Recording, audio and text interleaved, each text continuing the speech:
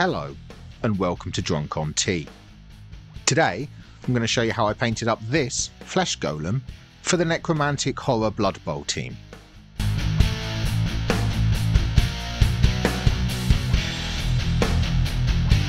To start with, I primed him with black spray, and now I'm coming in with some Corax white.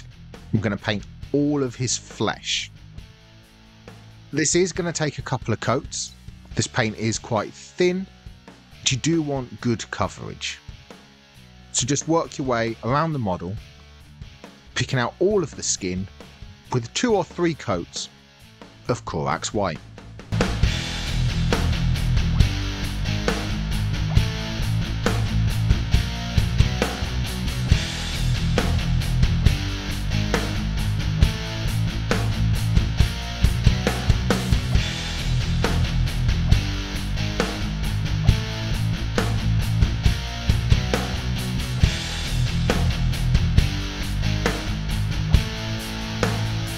Make sure you catch all of his skin, including this down here on his legs and his foot as well.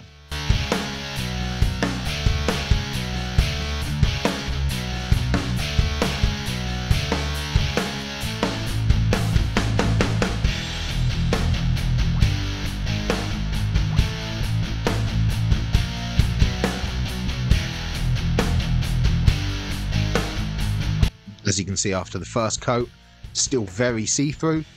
So I'm coming back in with a second coat to ensure that I do get good coverage over all of the skin.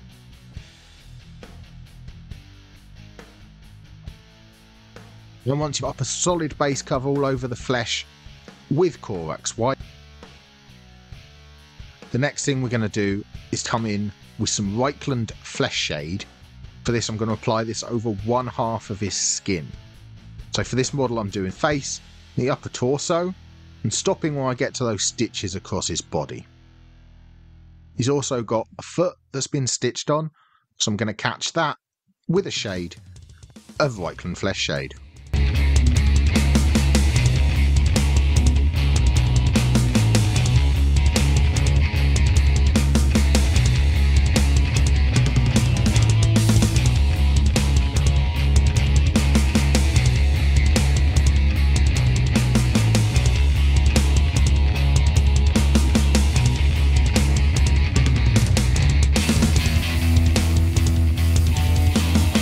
Once that's dried, that's half of his skin shaded.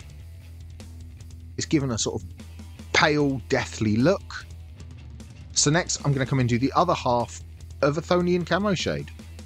So this is all the skin up to the stitches that we didn't do with Reikland Flesh Shade. So make sure you give all of this one coat of Athonian Camoshade.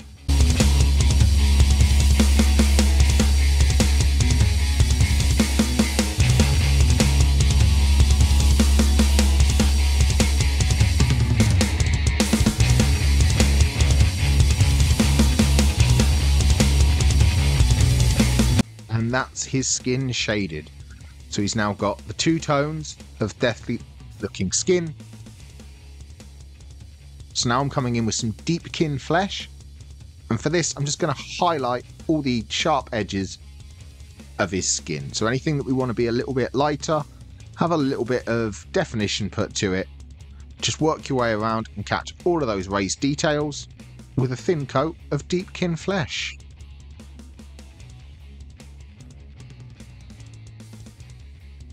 You're catching all these details here, like his eyes, his ears, his nose, and his bottom lip, as well as these pronounced muscles here on his chest. So just work your way around, give them all an edge highlight of deep deepkin flesh.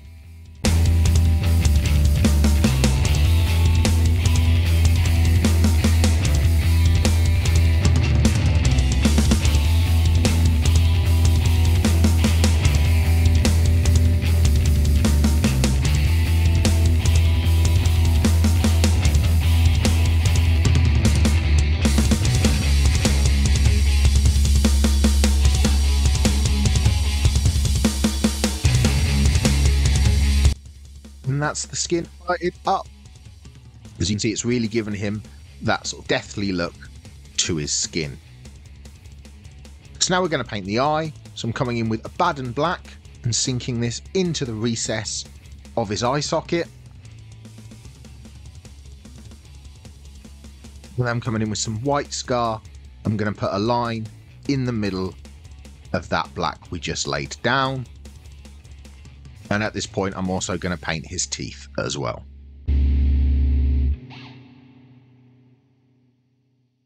And then finally, I'm coming with black. I'm going to put a vertical line in the middle of his eye to act like a pupil. And that's his skin and face completed. Nice easy way to paint dead looking flesh quickly and easily. So now I'm coming back in with black and I'm going to paint everything else we may have got some white or shades over in the previous steps to bring this back to a solid base cover. Just work your way around the model, painting everything back to black that got some white on it.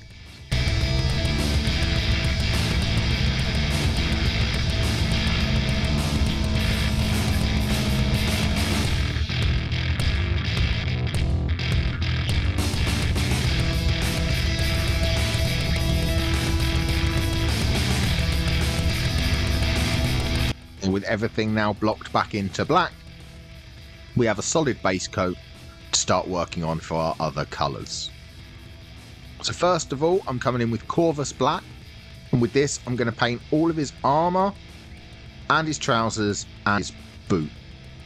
So give all of the armour panels that are on his body and his trousers and his boot a nice coat of Corvus Black. Be nice and neat at this stage, you don't want to get any of this over any of the skin that we've already painted up.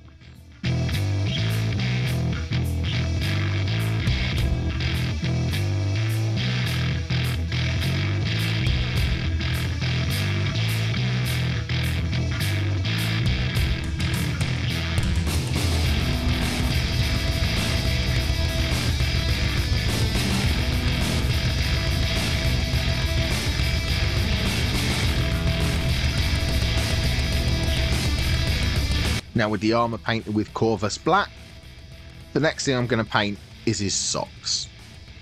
These are the only part that carrying the team colours, so I'm coming in with Wild Rider Red, and I'm going to paint this on his bit of sock that's showing.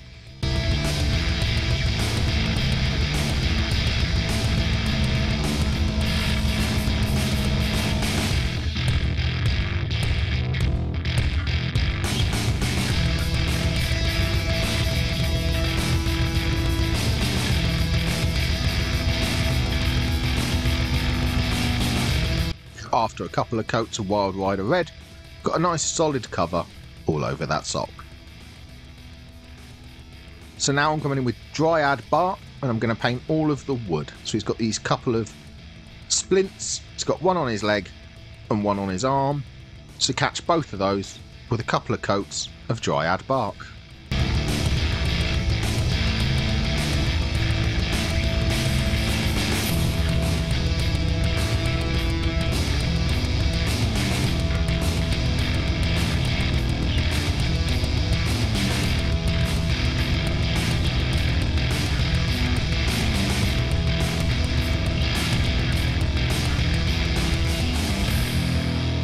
Next I'm going to paint the stitches that are on his body. So for these I'm coming in with Steel Legion Drab. I'm just applying a little bit of this to every one of the stitches that's on his body. Be nice and neat with this. Don't want to get this over any of his skin. Just work your way around and pick out every one of the stitches with some Steel Legion Drab.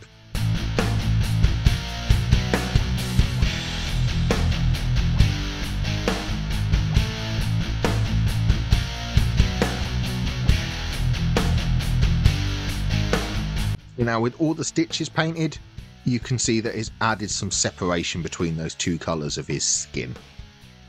So next I'm coming in with Mournfang Brown, and for this I'm painting all the ropes that are on his body.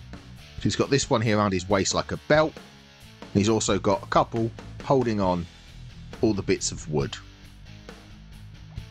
With Mournfang Brown I'm also going to paint any of the bits of leather that he may have sticking out next to his shoulder straps like these ones here, so just work your way around and coat all of these with some Mournfang Brown.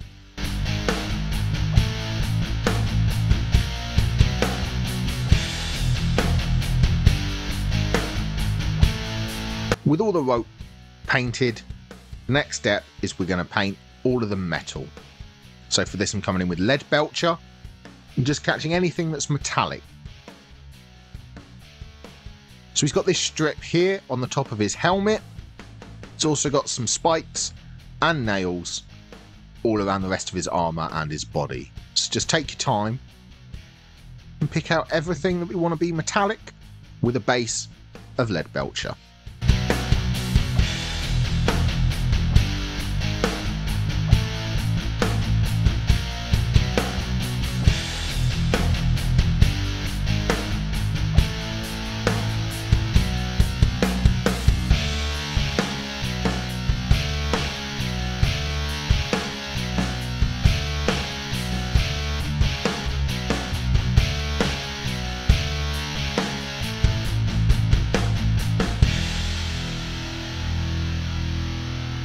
With all of the silver painted, it's now time to shade what we've just done. So for this, I'm coming in with Nuln Oil. I'm just applying this to everything that we just applied the colours to. So that's all of the armour, all of the metallics, all of the rope, the Wild Rider Red, and all of the wood that we've just base coated. Give all of that a shade with Nuln Oil.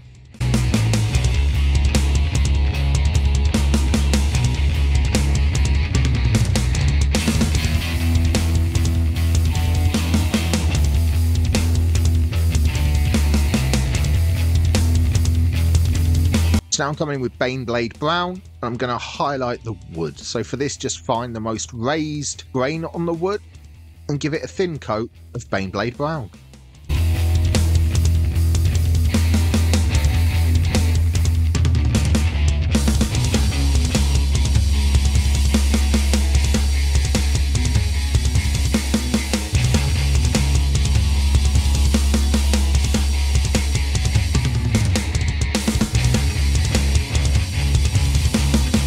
Wood highlighted, you can see it's added some definition to that wood.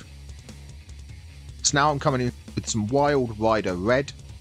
I'm going to put this on the socks where the shade didn't settle. So where the shade settled, leave that in the recess on either side of it, come with some thinned down Wild Rider Red and bring that back up to colour.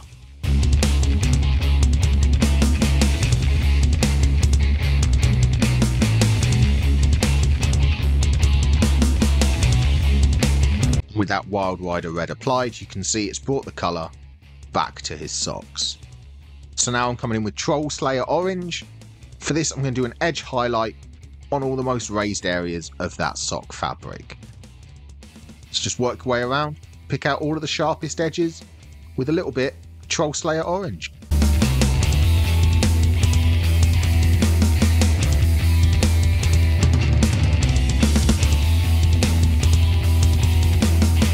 With that sock highlighted, he is really starting to come together now. So the next thing I'm going to highlight is all the rope. So I'm coming with Scrag Brown for this. On all the raised threads of the rope, I'm just coming in and putting a little bit of Scrag Brown as a highlight. Just take your time, work your way around and just pick out all of those raised parts of the rope with a little bit of Scrag Brown.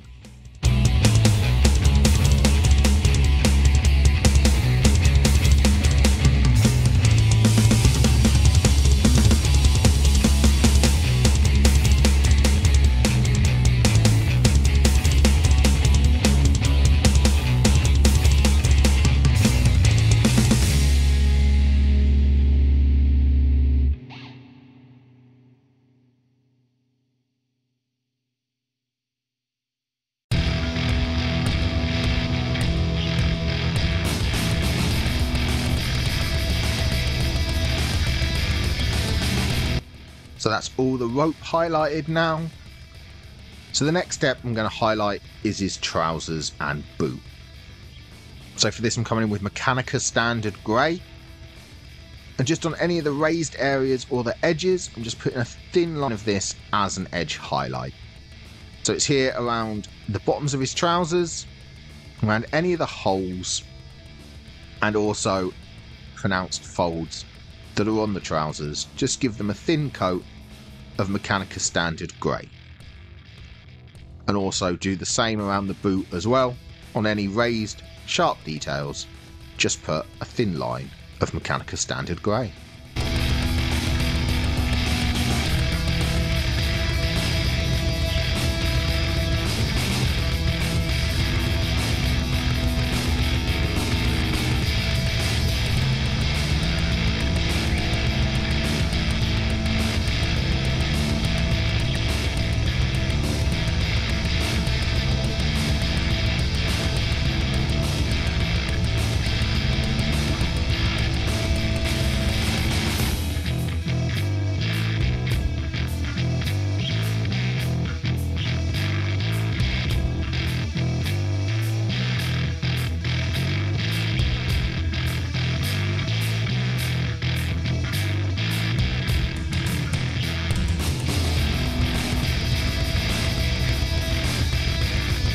And that's his trousers and boots highlighted.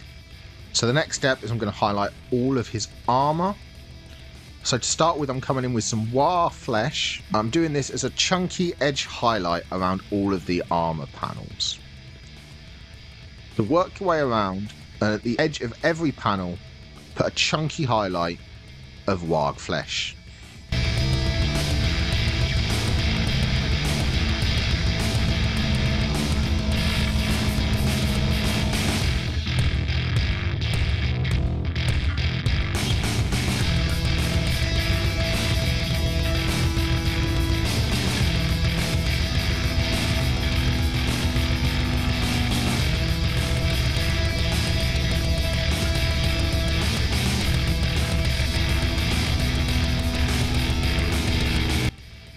Around his helmet, on either side of that metal strap, put a line, and around the brim of the helmet as well.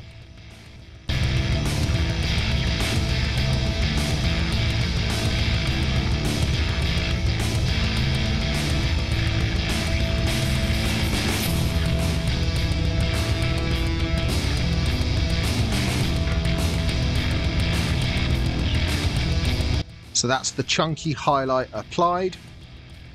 So the next step, I'm going to come in and put a highlight within that step. So I'm coming in with some warpstone glow.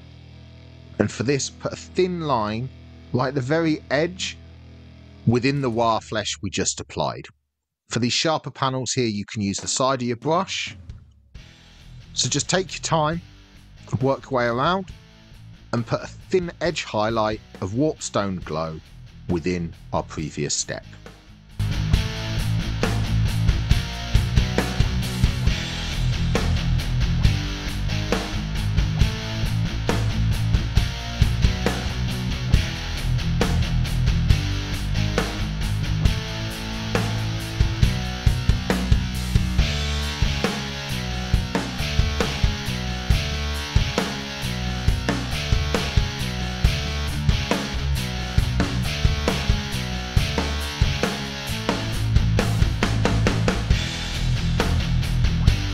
Warpstone glows really brought out the edges of those panels. So now there's just one final step to highlight all of his armor. So that's coming in here with some moot green. For this, I'm just going to do a spot highlight on the sharpest edges. So for this, just put a little spot at all of the corners to all of the armor panels. And at the top of these curved ones, just put a thin little line right at the highest point of all of the curves to really add some interest to these armor panels.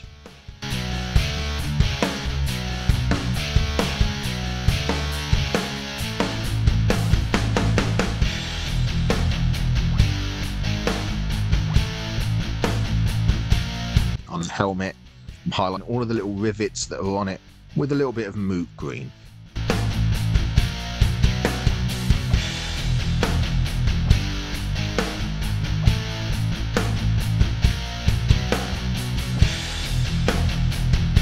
That's all of the armor highlighted.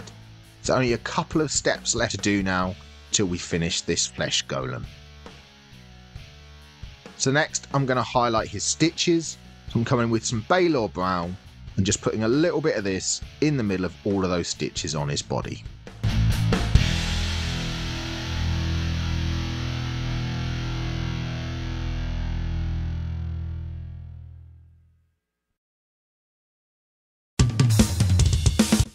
And with all of the stitches highlighted, the next thing I'm going to paint up is this bit of drool that's coming out of his mouth. So first of all, I'm coming in with some Corax white. I'm just going to catch all of that and give it a solid base coat of white.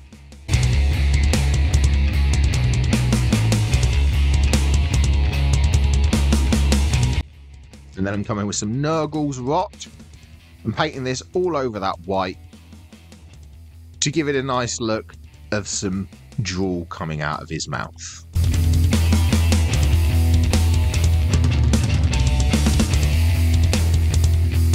And with that painted, there's only one final step, and that's to highlight the metal.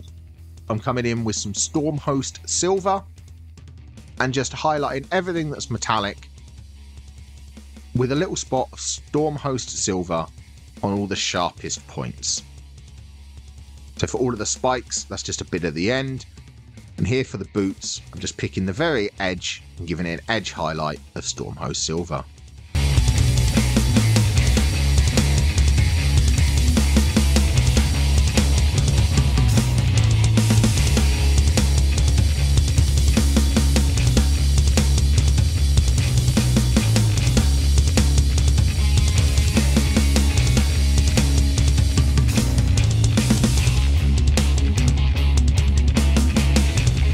And that is a flesh golem completed.